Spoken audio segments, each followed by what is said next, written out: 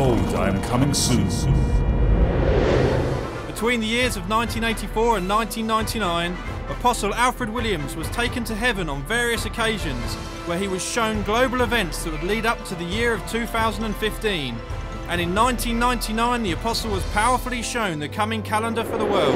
I want you to understand that the first war was in heaven, the first victory was in heaven, and it takes the man of heaven to win the earthly battle. In December 2009, God instructed Apostle Alfred Williams to go into all the world and let them know that I am coming. Beloved, with this powerful instruction behind us, it is now time for us to arise, shine, and win every house for Jesus. Now is the time for the final preparation of the bride of Christ. A final trumpet call to righteousness in this time that is running out before the rapture of the church. Join us on this dynamic campaign to reach every house in Britain. They need to hear the call. Who will tell them if we do not? This is the prophesied time of harvest. It is now time for us to win every house for Jesus. For more information, call 020 7635 0447 or visit cftchurches.org. The time has come to arise, shine, and win every house for Jesus. Behold, I am coming soon.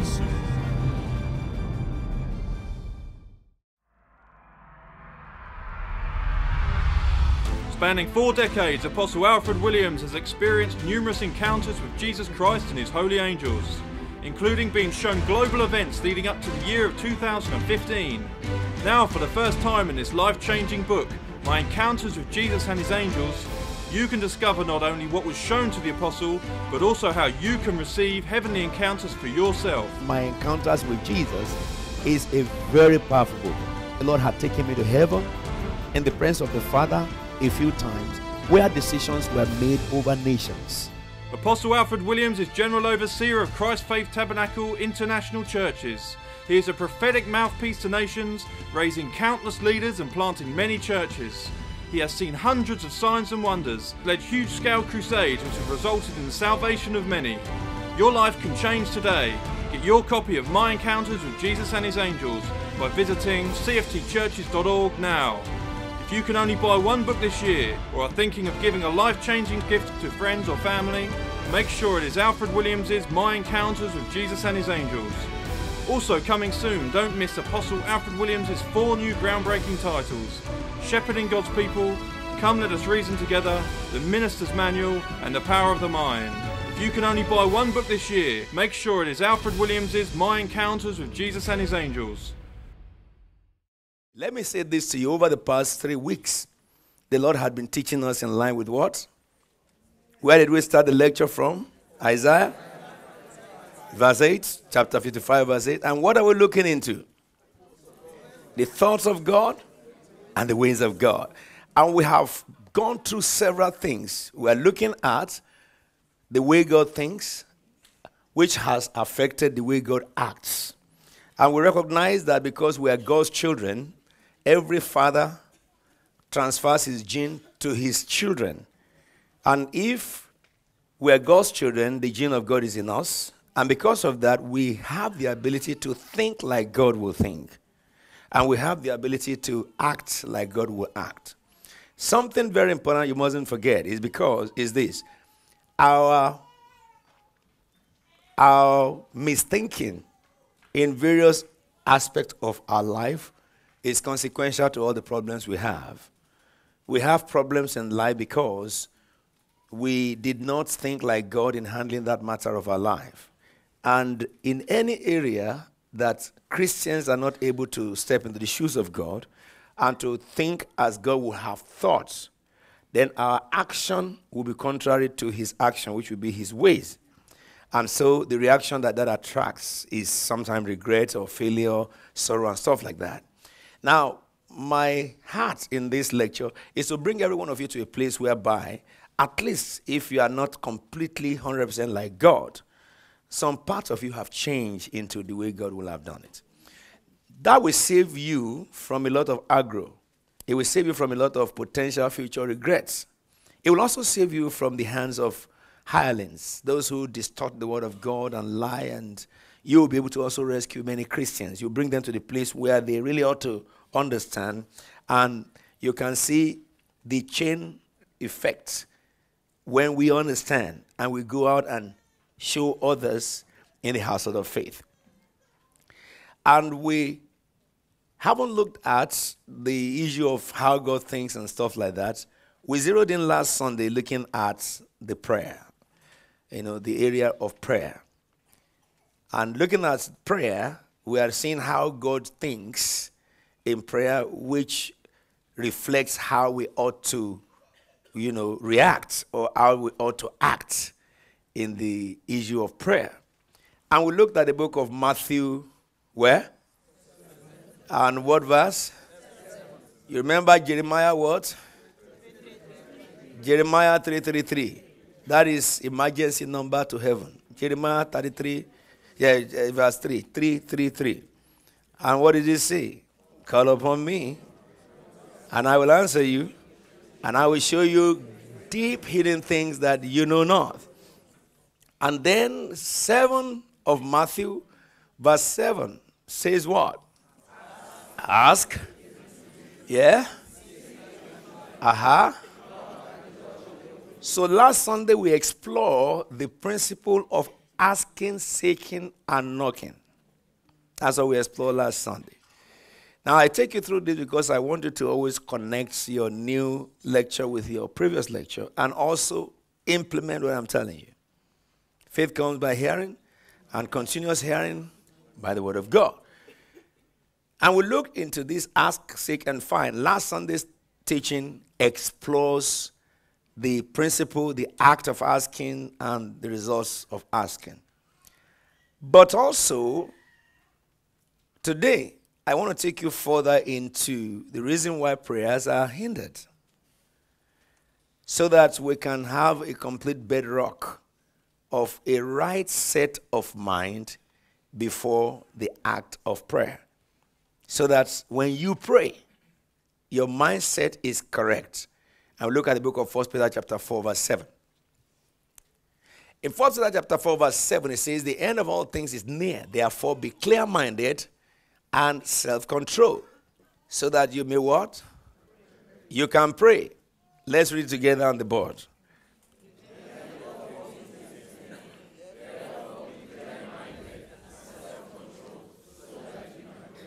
All right.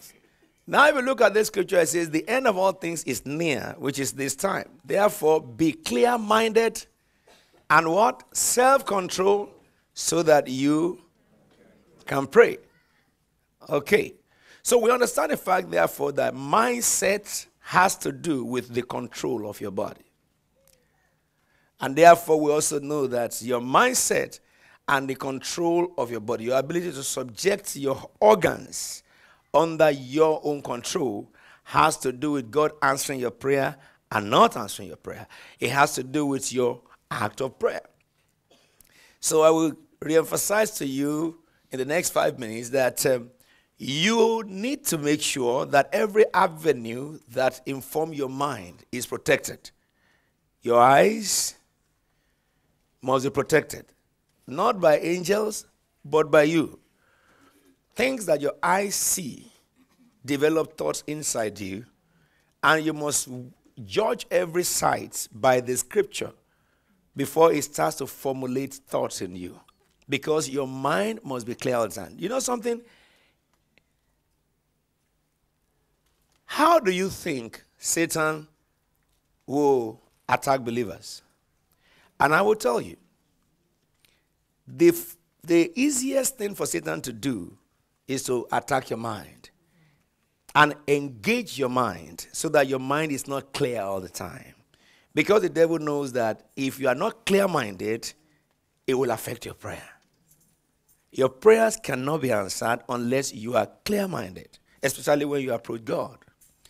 And this is the reason why the only place in a human being that Satan and all demons attack is our mind. Of course, God also the only place God go after is the mind of man. He says, Come, let us reason together. Isaiah chapter, chapter 1, from verse 19, verse 18, 19. God is looking for people to reason with. They will get it now. Therefore, be careful what you see. Your eyes must see everything, But your eyes must not focus on everything. When you are driving on the road, you know you have all these naked billboards, and Satan has his display more than God. If you put God on the board, everybody will go mad because they are all possessed of the devil. And then society I'm talking about. But when you put naked woman, everybody will praise it. And you put a, a stark naked man, uh, people will praise it. Especially when you put a naked woman and a man together, they start jumping, hopping up. Now, but when you drive on the street, you see all these things that Satan has put there. But you can drive without seeing them. It depends on the focus of your mind. Develop your mind to the place whereby you will not be able to recognize whatever the devil shows. Let me say something to you. One of the practical ways of protecting it is that when you go around and you, you see a, a nude stuff, don't comment on it. Anything that passes through your mind and you speak registers in your brain. If, if they can measure your brain by, by you know, science and electronic stuff, memory of man, you know, when you see something, it is easy, it is probable that there's a shadow register, just a little shadow register. And that's the reason why the things you see and you don't speak, you forget more. But when you see and speak, or you hear and repeat, what happens is that each repetition hits the same image in your memory and make it more indelible until you don't speak it again, but you cannot forget it. They will get it now. You can test this by when you meet people, you say, What's your name? The one says his name, that one says his name, that one says his name, and you don't repeat their names. And try to now, after you've had all the names, try to regurgitate it. You may not be able to accurately. Oh, but when oh, John, oh, oh, hi, John. And what's your name? Oh, Paul. Oh, how are you, Paul? I'm Alfred. Now, each time you repeat it, it retains in your memory more especially when you have to cover a range of people in one go. So, therefore, be careful what you see. Judge what you see. Second thing, your hearing is an access to your mind, the things you hear. I spoke a lot about what you hear, especially in the area of people influencing others negatively. In church, in family, in business, in life. And I told you something. The Bible said it all when it says that whatsoever is lovely, whatsoever is of good report, if that the only virtue of praise, consider. A believer need not consider anything that is not praiseworthy. I would mean now, nobody can come to me under heaven. I repeat myself to come and talk slander of another person. A person who will stand before me to do that certainly must be somebody who didn't hear me on television teach or he'd never had me. Because my principle is simple. If you tell me something about this man, I'll tell you, this is what you have said. Yeah? Yes. I will take you to that man and you repeat it. What you cannot repeat before any man, you don't say before me. And if you say, no, no, no, okay, I'm sorry, I'm just joking. And I will tell you, I will tell that man you said this, and I will tell him when I confronted you again, you said you are joking. That man must know the careless word you have spoken about him. And because my stand is clear to all mankind, people don't come to me and talk nonsense because I don't want to hear rubbish. I want to hear something that will construct my life. I want to hear something that will make me help somebody else. I don't want to hear things that will make me hate another person. I don't entertain it. And I don't want to hear your view or your judgment over what you suppose somebody will have meant. Because you're not God, you cannot read the mind of man oh, this is what I believe she's saying. No, that is a lie. When you when you present your statement as this is what I believe, it means you haven't had nothing. Are we together now? If you had somebody who say that I this is what I had, not this is what I believe. And so guard your, your ear, ears so that the things you hear are constructive. The same way, you know, it's been my life with my wife and family and friends which when I was growing, many people could not understand the kind of nature of a person I am because if I quarrel with you, that's the end of it. I don't go, go away from you and begin to propound the disagreements. Because anytime you do that, you get more angry. And anytime you get more angry, you are the one suffering. Because I told last week that I know by, by scientific um, uh, you know, analysis that if somebody is angry, his brain will begin to secrete some pulses. And those pulses, I said that if science go further than this age, they will discover the, they are injurious to your organs. Because the same thing we know that laughter is medicinal. And that has been proven by science that laughter is medicinal. If we prove it by science that laughter has a healing virtue in human organs, so also sadness will. So also anger will. Because the Bible says anger resides in the laps of what? Fools. And so, brethren, your mind is your great assets. Don't waste it. Don't let anyone waste it. What you hear, be careful. And then, what you hear, what you see, and what you smell. Listen to me, therefore. If the Bible says here that you should be clear minded and be self controlled, it means that any thought that we that we take your ability from being responsible to your act should not be accepted. I repeat myself. Any thought that can pass through your mind that will trigger a reaction in you that you are not really, you know, are, it's not the kind of thing you would have loved to do. All right? It's a thought that you should not nurture because it will cause you to perform some acts that you will regret and you will be sorry for.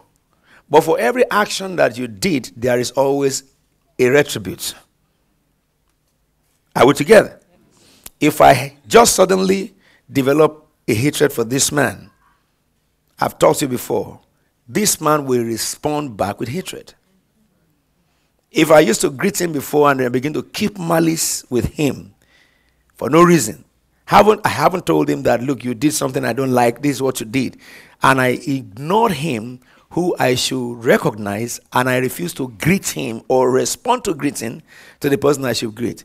What will happen to me? He will, he will watch me the first time, watch me the second time. Then he will go and tell somebody about my behavior. And that person will cooperate with him and watch and say, Yes, it's true. And that person will tell somebody. I have sown irresponsible behavior to one person, and I will be shocked how many people will respond to me. Because I have no basis for what I've done. Whatsoever man soweth, that is shall reap. So I will lose my joy through many sources because of a misconduct to one person. You need to understand this. Seed does not come back as seed, it comes back as harvest once it is planted. And this is one of the reasons why many Christians are miserable. You don't come to the house of God to misbehave. You come to love people, isn't it? And how can you ignore somebody? I mean, that person is suffering from mental neurosis. Is doctor here? I want to begin to go into some some grammar of uh, of psychiatric um, imbalance. I suffering from. Um, hey, what do they call this thing? God forgive me. There is one big name. The doctors call some. Uh, some is schizophrenia is a general name. Psychosomatic. Psychosomatic.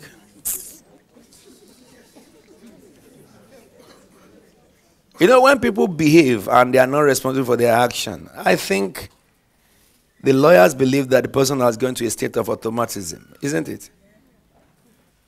There are many Christians who are suffering from automatism. That is a state whereby your consciousness is disconnected from your acts. Certainly, you never come to church to make enemies. That is your original mind. When you find yourself in a place that you are having factions and you are hating people, certainly that is not church. The church is there, but you are not part of it. Because the church of God is to love everybody when your old nature of behavior, you know, is being grown and developed by a sect of people you associate with, then it means that Satan is still after you in the church. So what do you do? You wage war against those people by telling them what?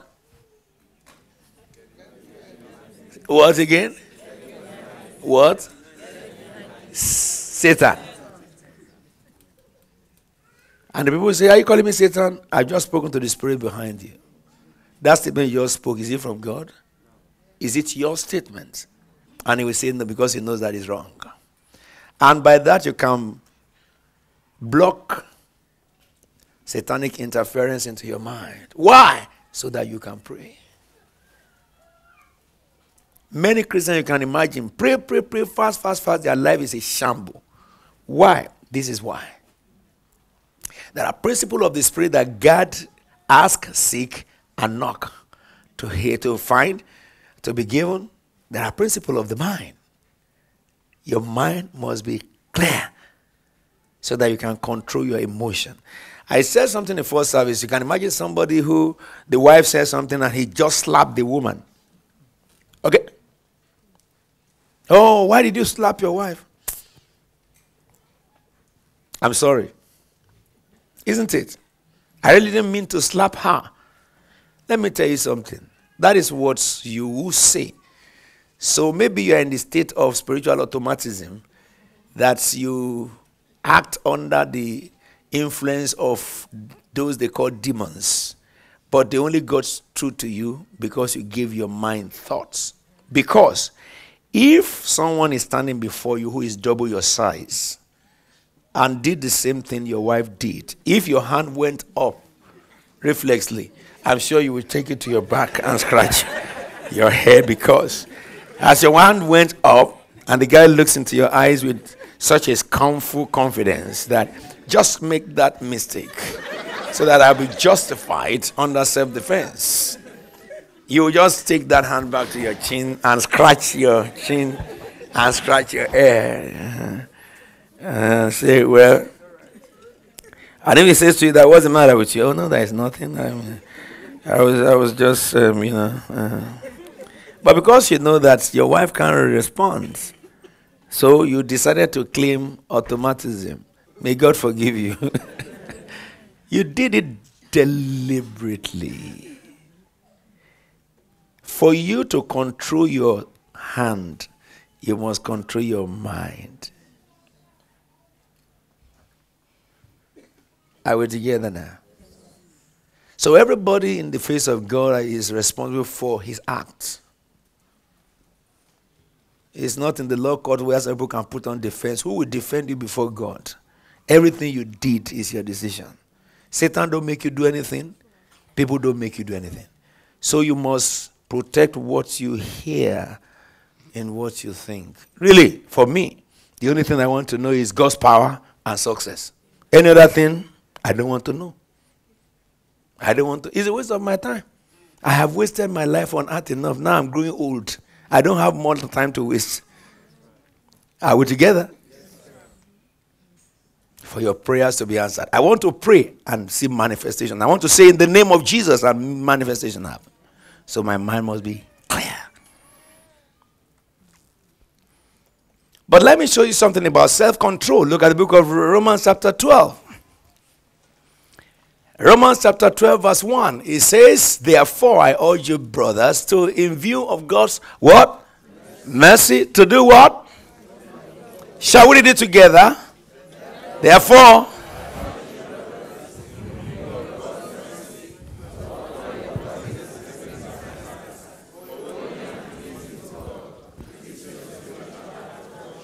Listen to that. He says, I urge you, therefore, to, in view of God's mercy, the mercy of God that saved you and I, the mercy of God that brought us to, to God through Christ, the mercy of God that overlook our past, all our errors. I used to be a bad boy. When you get born again, you are no more bad boy. He doesn't remember your sins anymore. I used to be a prostitute. When you are born again, you are a saint your prostitution was never in record because the blood of someone had wiped it off. In view of that, that God did not do to us according to our acts, but that God in his forbearance has left all our past acts to go unpunished. Romans chapter 3, verse 25. Now listen, therefore, in view of that blood that was shed, God said, Present your body as a living sacrifice, holy and acceptable or pleasing to God. This is your spiritual act of worship or reasonable act of worship. I will say this again for you to worship God, you must present your body before God first. Do that. I told them the first service, and I'm telling all of you because some of you here are singers and choir. You are just sitting down now. By before the end of December, you'll be singing in the cathedral. And I told the choir, you cannot lead worship unless you are a holy sacrifice. If you are not, all your worship will be screaming, shouting, and nothing will move. You know, I'm planning against next year now. We're going to have um, Christian concerts, and uh, we're going to do talent nights. And I was discussing that with uh, somebody who is a musician. And they began to tell me, oh, this group does it, ah, that group does it. And I said, not like that. What I want to do, no group in England has done it. When they say Christians are doing a musician talent night, and you see Christian musicians dressing more wayward than those in the world, you call that a Christian concert? That's a devil concert. I'm not I'm not putting a concert together, talk about talent. I'm not talking about somebody who can sing and his inside is dirty. That's not talent. That is skill. I'm talking about people who will open their mouths and the blind will see and the lame will walk and sinners will cry.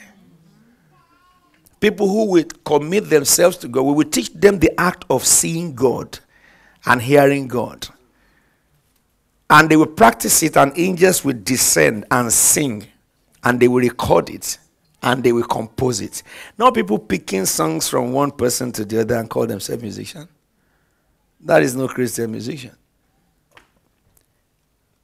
A psalmist is a person who Holy Spirit sing to. And whenever you sing the song of Holy Spirit, it will achieve the purpose of Holy Spirit, which is salvation, healing, and deliverance a people who are people of God, men who are not to be told they shouldn't pierce their hair and tattoo their body because they present their body as a living sacrifice. Girls who will not pollute themselves with sexual immorality and all this slander and nonsense because they have presented their body as a holy sacrifice. People who God is their priority. I told the guy I will set up a three months intensive training Anybody wants to find God, come to my training. Within three months, you'll find Him. You will see heaven, man. I'm not talking about show. I'm talking about the scripture. By singing, Israel won a battle. By singing, God confused the enemies of Israel. By singing, the Holy Spirit descended upon the prophet. That's what we're talking about. But for that to happen, a man must present his body, living sacrifice. Now, let me give you a few information because my time is quite going. I'm not, I don't want to teach you on that today, but let me just hint you. Your body is not your own once you get born again. And anything that will defy your body, you must not accept it, beginning from what you hear, what you see, and what you feel, and what you think. As long as it's going to defy your body, you must not accept it. Because you will pay with your life for defiling your body. When the retribution will come, anybody who influences you to do evil will not partake in your punishment. So, because of that, it is from this scripture an obligation for a Christian to present his body as living sacrifice before God. You have to do it. You don't have any other way than that. You cannot dress your body like the world do, tattoo your body and stuff.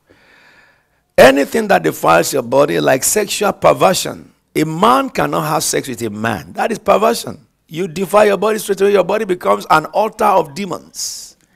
A woman cannot have love affairs with a woman. Instantly you do it, the whole of your body will be invaded by evil spirits.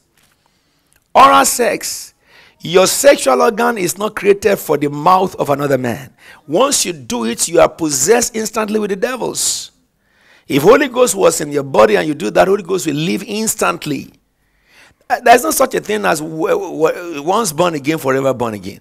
What went into the head of people who do that? Demons. It came from witchcraft. I was listening to a minister went to preach in another church before, a very big minister.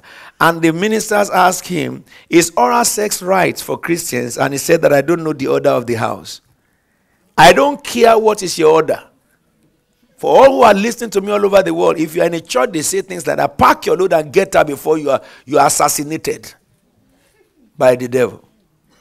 Anywhere there is no truth, anyone seeking for truth must not stay there. It's at the expense of your life for eternity.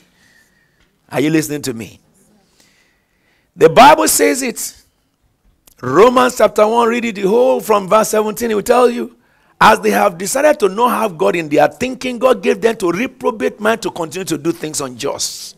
So they came into various sexual perversion and lust for more. It is called sodomy. Listen to me. Anything that will defile your body is from the devil to destroy you. Stay away from it. Because with a defiled body, your prayers cannot be answered. You want God to answer you? Play God, man. it's so simple. Oh, can a man do that in this generation? Why not? If a man can do evil in this generation, why can't a man do God? Listen to me, God's people. You are a peculiar people. Peculiar means you are different from other people, both in your way of operation, in your thinking, in your action, and everything. If since you are born again, your life has no changes, then you are not born again. You are only escorts. When the motorcyclist escorts a dignitary, eh, everybody is going, everybody is, is clearing the road for them. When they get to where they enter, no motorcycle rider enter. Only dignity. Their escort finish at the gate. and then somebody will come out from the car who they will give a red carpet. All the escort will just stand at the gate and he will walk to the red carpet. Why don't you join those who will walk to the red carpet, man? Don't be an escort in the church. Present your body a living sacrifice. Let Satan be angry with you because you will not share your body with him. So then, in closing, what I'm doing today is to help you understand what your state of mind should be for what Jesus said in Matthew 7 7 to happen. I don't have problem with God, though.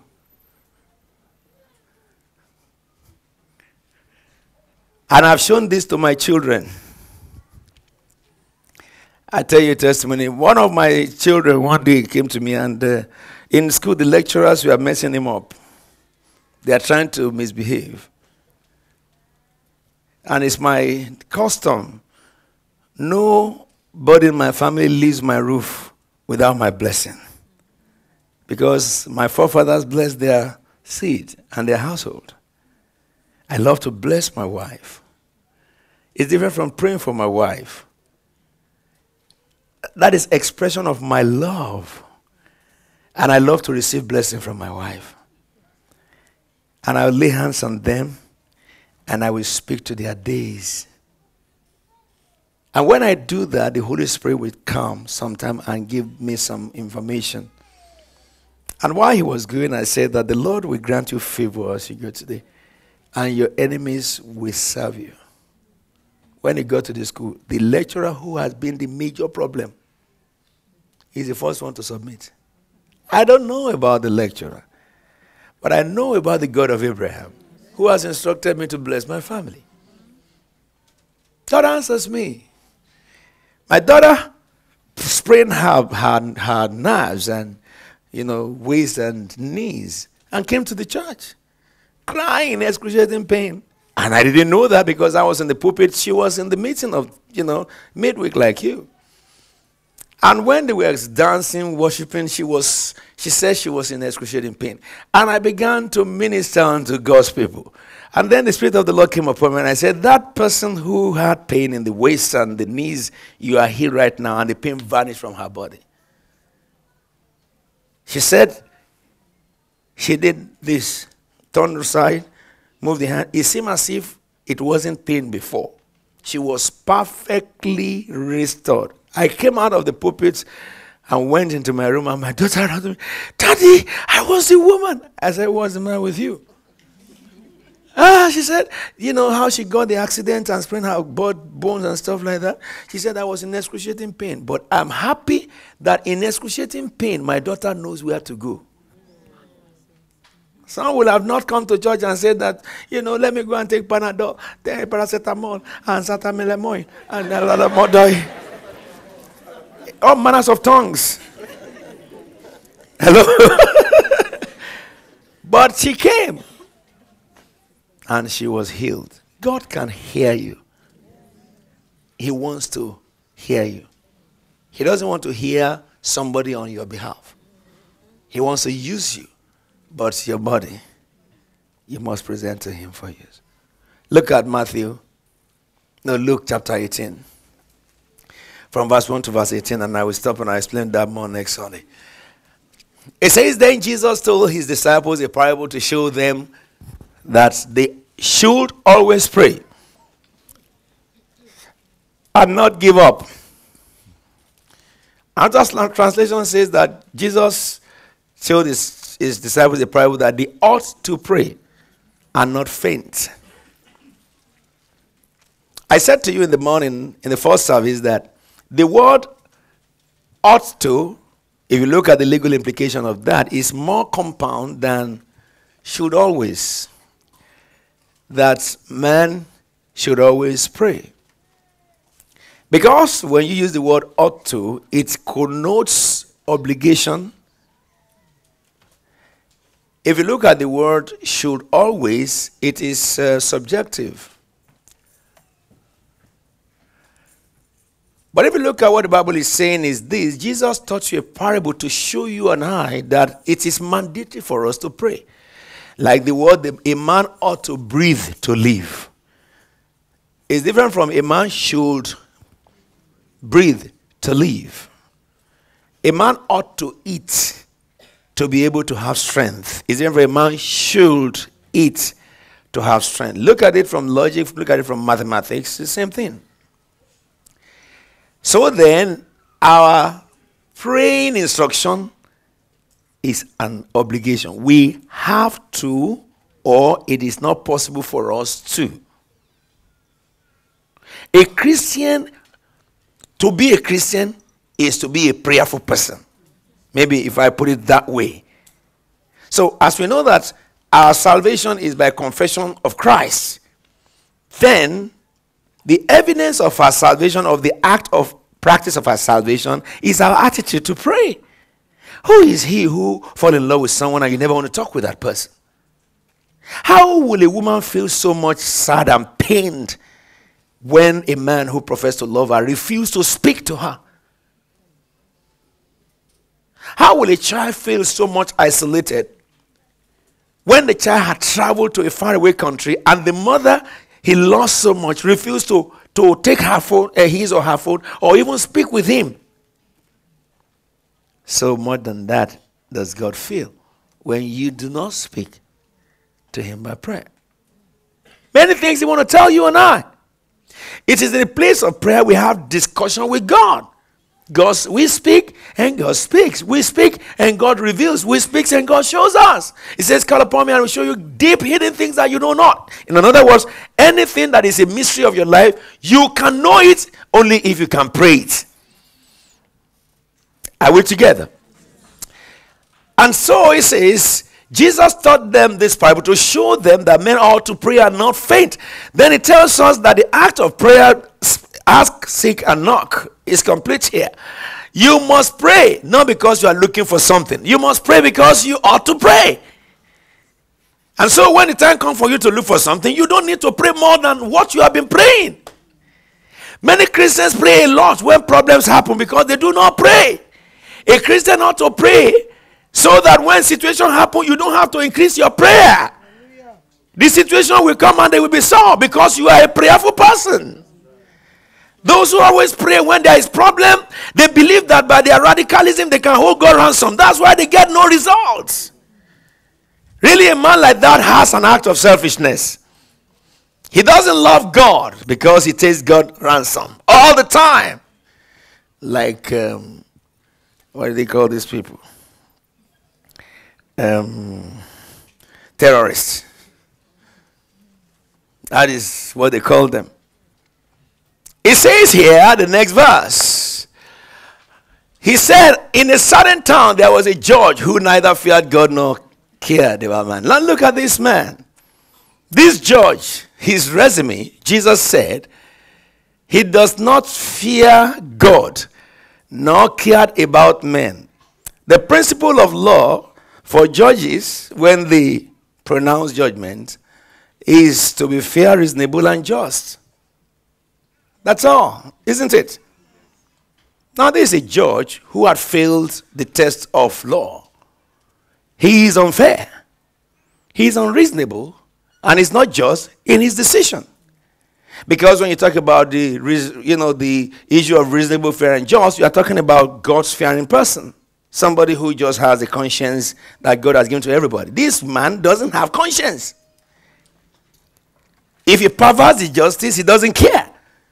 If he, whatever he says, he is the Almighty in his field as a judge. He doesn't care what, what consequence or what reaction that comes out of, or criticism that comes out of his, his judgments. He doesn't fear God, neither does he even respect man. He doesn't care for men. Okay? Maybe everybody who goes to his courts, maximum sentence. Maximum sentence. And sometimes he may even add a little sentence to the maximum. that you won't come again. so everybody knew him that he doesn't fear God, and doesn't care for men. Then what happened? And there was a widow in that town who kept coming to him to plea with the plea, grant me justice against my adversaries. That man, when he comes into his house, the widow sat in front of his house. The moment he sees the man, grant me justice against my adversary. Grant me justice against my adversary. Grant me justice against my adversary. As the judge is walking to his house, that's what he's hearing. And he sits down in his house, the widow refuses to go. Grant me justice against my adversary. Grant me justice against my adversary. The judge is eating. Grant me justice against my adversary. He finishes it. The judge went to bed. Grant me, uh, you know, uh, as he goes into inner chamber, the voice of the woman is fading, but he's still hearing. Grant me justice. He sleeps. And he wakes up, grant me justice against my adversary. Grant me justice against my adversary. The judge woke up with the voice of this woman and he comes out, grant me justice. And he went to car, he drove away, and he thought, I'm free from this woman. The moment he comes back again, grant me justice against my adversary. Grant me justice against my adversary. Ah! You know, he doesn't care about men. Some 44 they will say that this is one of those trash women. Yeah, get away from here. Leave my house. Get away from the front of my house. Then he went to no man's land the road. Grant me justice against my adversary. Grant me against my adversary. Hello? And the judge's jurisdiction does not reach there. I believe that in those days there's no law of nuisance. It was a free for all. Freedom of expression of speech or shout or cry. And this judge was pounded day and night. For some time he refused. Did you see that? Because he doesn't care for man. That you will soon get fed up and get out of this place. Trusting him, I will get police to arrest you. The woman kept on crying. A widow who adversary has also sat upon to, to oppress. Take her to jail. She doesn't lose anything. At least they will feed her in jail. She continued. But finally, he said to himself, your prayer can change the mind of your enemy. Amen. Satan himself is this judge. If a man continues to cry to God and Satan is hearing you day and night, ah, Satan will repent of his mess. He will just say to all the demons that, guys, the noise of this man, let us carry our load. Let's go to where they will not give us any noise. But what happened to many Christians? When the devil messing around you, you just keep your mouth sealed. Or you begin to go from prayer house to prayer house. I call them prayer beggars. They always get crumbs that fall from the table. He says, but finally he said to himself, even though I don't fear God or care about men, then what did he say? Yet, because this widow keeps on what? I will what? See to it that she what? Get. hey, when a godless judge is on your side, woe betide your enemy. you know, I've been studying about judges in Great Britain. You know, really, some of the judges is strange. I have to submit a coursework by Friday on European law. And one of the things that they told us to talk about is the, the perversion of justice. The, the, the, you know, you know, fraudulent decisions that comes from judges. And there are some cases they gave us to look at, and I tell you, one of those cases you just you just wonder can a can a judge take such decision? But they did it in European court. It's a silly decision. It's a stupid decision. It is unreasonable decision. But that's what they decided. Because in court, you see, a judge can just take a word out of a sentence and it will change the whole face of the law. And once that word can be seen by others, that the interpretation of that word really is the truth. What they had believed before is not correct. It becomes what they call a dictum, binding to other cases. So you see this case in this issue. The Bible tells us that this man who is godless, because of the importunity, another translation says it, he decided to respect God and honor man for one time. Why is Jesus saying this? He says, because he, the judge said, if I don't quickly answer this woman, I will be won now by her petition. There is something they call Bamabinu in my language. Just take and leave me alone. I don't want to give you, but just have it and go. Whatever is in the hands of your enemy, that's what he will do to you. Amen. He may not want to leave it. Your prayer will force him. Amen. Because he wearies me. Take and go. And the Lord said to, to you and to me, Listen to what the unjust judge says. We, and will God, will not God bring about justice for his chosen ones who cry on him when? Who cry on him when? Say it again. Ah, look, this is second service. Do we need coffee break? I've just told them. I've just told them to make sure that uh, before the end of the second week of December, they fix our coffee units in the cathedral. Why? Because if I tell you to read the scripture and you didn't read it well, I'll just say coffee break. We all go to the coffee and drink. And I'll tell my protocol to seal all the roads so that you don't run away. Then when we finish our coffee, we go back to, this, to the church and, and continue. but before, before when you come to second service, you must have drink, drank coffee before you came, isn't it? Or is your coffee running out?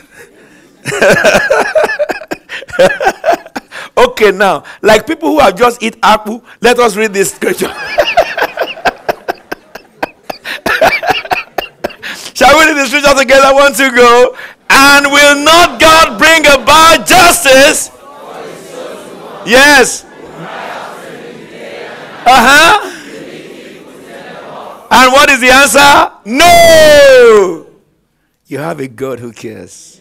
He's not like the unjust judge. You have a God that even when you make mistakes, He understands it. But when you come to Him in prayer, He had forgiven you before you came, beckoning you to come back. You have a God who, no matter how, how malicious you were or reckless in your life, no matter how much you blame yourself for whatever mess you have done, He was a man like you. He understands what it is to have flesh. He understands all this temptation that's surrounding you. And he's only waiting for you to speak. Because his principle is that he cannot override your, your jurisdiction without your permission. You have to ask him by calling on him for him to have the legitimacy to enter into your life and do something. He doesn't want you to feel guilty when you come back to Him. He only wants you to ask for mercy and stop whatever you know is wrong. And once you have confessed it and you have in your heart really asked Him to forgive you, He wants you to come closer and talk to Him like a son, not with guilt in your heart. Are you with me now? If the unjust judge who is wicked can change his mind because of continuous asking of a widow, how much more will God answer you when you go into the act of praying, which is cry to him when day and what? You cry to him when day and you cry to him when day and you cry to him when day and in the morning let them hear your voice in heaven. Spanning four decades, Apostle Alfred Williams has experienced numerous encounters with Jesus Christ and his holy angels, including being shown global events leading up to the year of 2015. Now, for the first time in this life changing book, My Encounters with Jesus and His Angels, you can discover not only what was shown to the Apostle, but also how you can receive heavenly encounters for yourself. My encounters with Jesus is a very powerful book. The Lord had taken me to heaven in the presence of the Father a few times where decisions were made over nations. Apostle Alfred Williams is General Overseer of Christ Faith Tabernacle International Churches. He is a prophetic mouthpiece to nations, raising countless leaders and planting many churches. He has seen hundreds of signs and wonders, led huge scale crusades which have resulted in the salvation of many. Your life can change today. Get your copy of My Encounters with Jesus and His Angels by visiting cftchurches.org now. If you can only buy one book this year or are thinking of giving a life changing gift to friends or family, make sure it is Alfred Williams's My Encounters with Jesus and His Angels. Also coming soon, don't miss Apostle Alfred Williams's four new groundbreaking titles Shepherding God's People, Come Let Us Reason Together, The Minister's Manual, and The Power of the Mind. If you can only buy one book this year, make sure it is Alfred Williams's My Encounters with Jesus and His Angels. Behold, I am coming soon. Between the years of 1984 and 1999, Apostle Alfred Williams was taken to heaven on various occasions where he was shown global events that would lead up to the year of 2015. And in 1999, the Apostle was powerfully shown the coming calendar for the world. I want you to understand that the first war was in heaven, the first victory was in heaven, and it takes the man of heaven to win the earthly battle. In December 2009, God instructed Apostle Alfred Williams to go into all the world and let them know that I am coming. Beloved, with this powerful instruction behind us, it is now time for us to arise, shine, and win every house for Jesus. Now is the time for the final preparation of the bride of Christ. A final trumpet call to righteousness in this time that is running out before the rapture of the church. Join us on this dynamic campaign to reach every house in Britain. They need to hear the call. Who will tell them if we do not? This is the prophesied time of harvest. It is now time for us to win every house for Jesus. For more information, call 020 7635 0447 or visit cftchurches.org. The time has come to arise, shine, and win every house for Jesus. Behold, I am coming soon.